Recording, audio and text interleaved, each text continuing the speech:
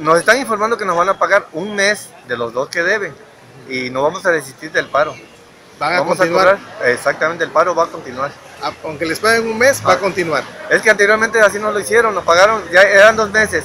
Nos pagaron uno con la, con la consigna de que al a los cinco días iban a pagar el otro mes y nunca nos lo pagaron y por lo mismo se juntaron dos meses. Ahorita va a ser lo mismo, nos pagan un mes y otra vez se van a, un- a juntar los dos meses. Mejor no vamos a el paro va a ser indefinido hasta que paguen completo.